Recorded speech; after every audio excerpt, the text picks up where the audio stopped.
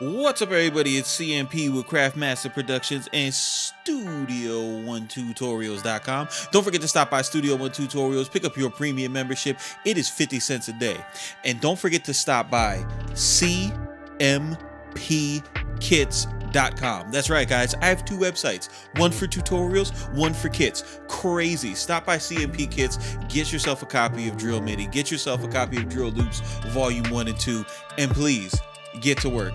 Now, I would also like you guys, if you could shoot me a follow on IG, Spicy Sundays Podcast. And if you need to get in touch with me real quick, DM at Craftmaster3 on IG is the absolute positive, fastest way to get that done. Now, today, we're going to be looking at something that I hope is going to help you as much as it helped me, and that is working with um, working with pipeline inside of Studio One, along with uh, along with the um, Apollo interfaces, right? So I've been dealing with this thing with uh, with pipeline where anytime I, I I have used pipeline, it would kind of it would kind of double the signal. Um, let me show you. Let me show you what what that's about. I'll just I'll just show you real quick. So inside, if you guys have if you guys have Apollo, um, you'll you, this will look um familiar to you, right? So whenever I uh, this is the console app. Whenever I get to um, whenever I get to try to use pipeline, and say I want to use it on the entire track as I do because a lot of like what I do for mastering is happening not in a plugin. Um, I, it sounds like this.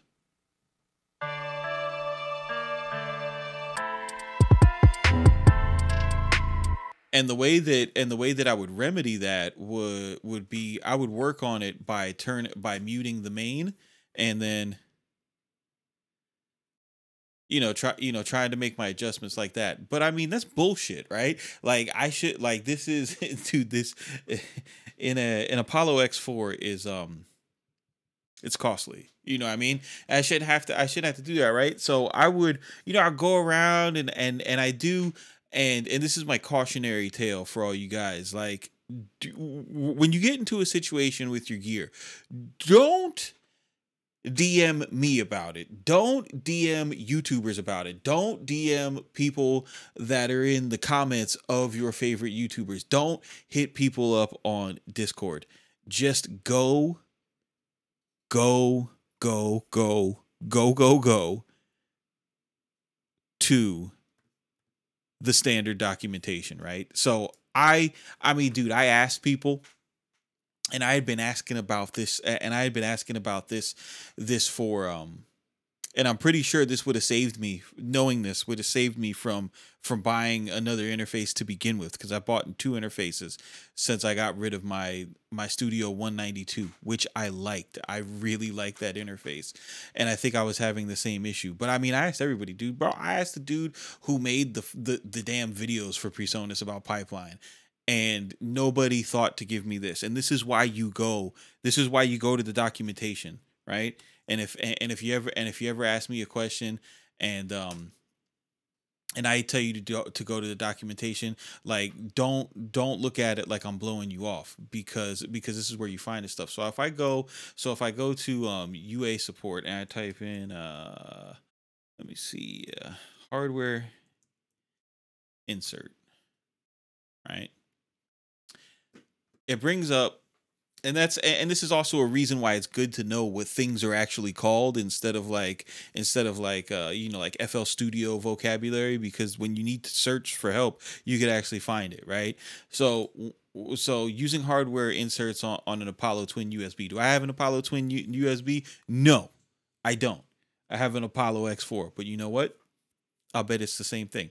Now when I looked at this the console setup uh I looked at this and I didn't freak out. I was like, all right, maybe, you know, maybe this is a little dated. This has changed. This is what the Q outputs look like. You guys know if you have Apollo, Q outputs don't don't look like that anymore. Um and then as I was going down, they they did it a little bit differently. Like they're they're utilizing a uh, a, a virtual track inside of the DAW or inside the console, and um, I I chose not to do that. But right here, this right here, bro, this jumped out and it made so much sense, and I'm just like, oh my god, I'm so I'm so thick, bro. Like if I would have instead of muting this, if I was muting the console app that would have made that would have gotten rid of the problem. So I went ahead and tried it. Go in here, mute. You guys heard what it sounded like before. Now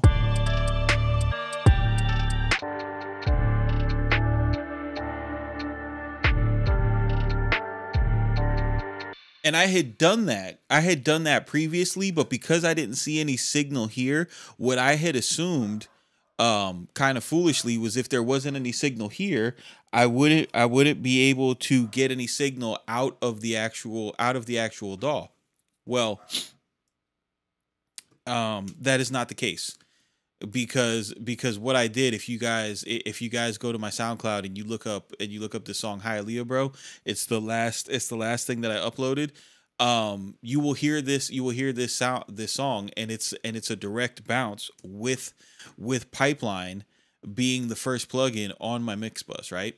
So how do you set this up? How do you you know how do you how do you how do you make this template work for your apollo right? Well the first thing that you're going to want to do uh, whether you're using the duo or whether you're using the x4 um, the duo you might have to use the virtual channels. I don't know i don't know how many like how many inputs and outputs you guys got. Sorry i don't have it so i i haven't done the math on it. But what i have right here is analog one. What this is this is uh this is one cable this is um this is my microphone right?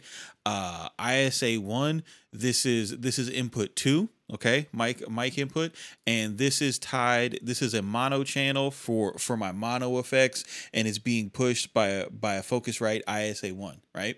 Then i have what's called zulu in and what this is is this is a stereo pair right? These are two channels linked right? This is this is analog three and analog four. Let me relink them and what this is is this is coming in from my uh from my warm audio uh 273 preamp. And these and this is basically all of like uh any a- anything that goes through my effects chain uh the uh the you, know the Dwarmer 1974 the uh the SP the uh the SP 404 you know uh, pretty much anything that comes out stereo out of my patch bay it back into the DAW um is going through this loop right? So it's important it's very important that you have this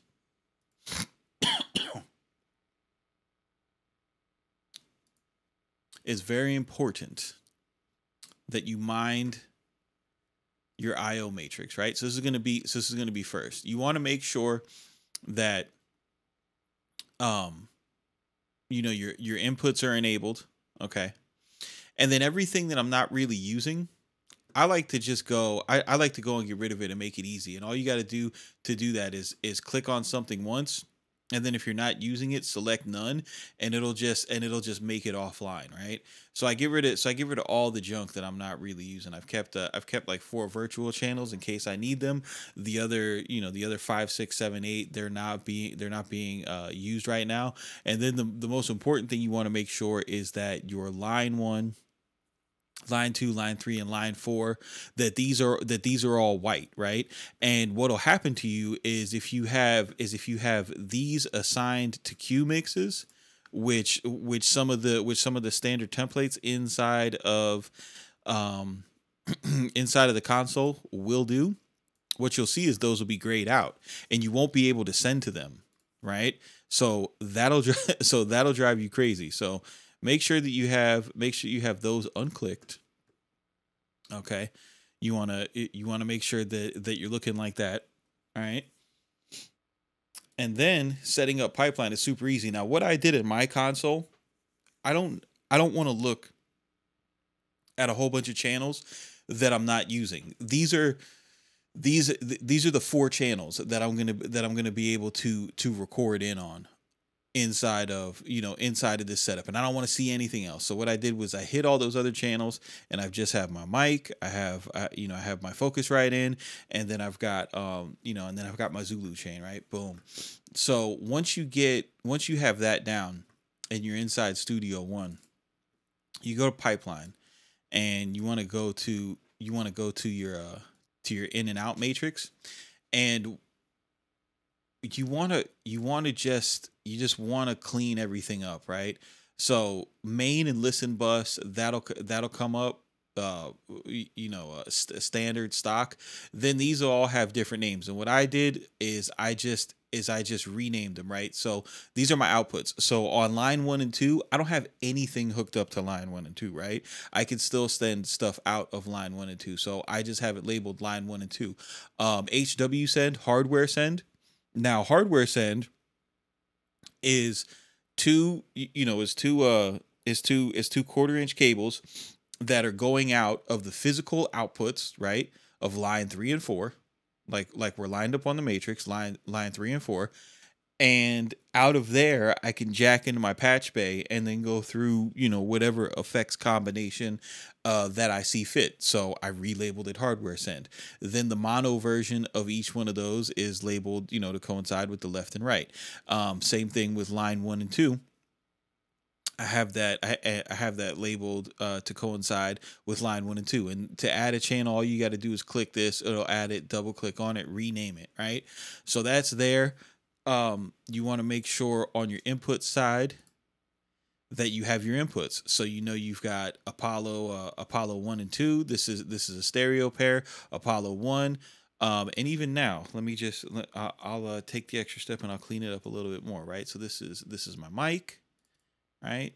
And then I know I know Apollo 2. This is the ISA 1 and then and then the input right here this is going to be hardware return right? Because uh, this is the signal returning from all my hardware. Boom. All right? And then and then what you what you can do once you have uh you know once you have everything named the way that you like um you can go ahead and export this and say I, have this I, I, you know you could you could say whatever you want uh UAD Thunderbolt that works for me we'll call it UAD Thunderbolt. And anytime anytime you come up to this matrix and it isn't saved in a new session or something all you have to do is go to import and then and then it'll be you know it'll be in there boom right? So I've got so I've I've got a couple different ones that that I've went through um, I called this Apollo Final Form because I finally figured it out. But that's really all there is to it. Once you have once you have that set up, and the most important thing, guys, the most important thing with these with these stupid console you know mixing mixing plugins is or, or um, applications is that if you're going to use pipeline pipeline is going to take the place is going to take the place of this. So what you have to do is you have to mute these channels. You'll still be able to hear it inside the DAW it'll still record inside the DAW it'll still bounce outside of the DAW you just won't see the signal here. And then once you have that you are good to go. So this is CMP with Craftmaster Productions this was a revelation to me. I hope you guys that are using hardware find this useful. You guys keep it simple. Don't be basic. And we'll see you on the next one.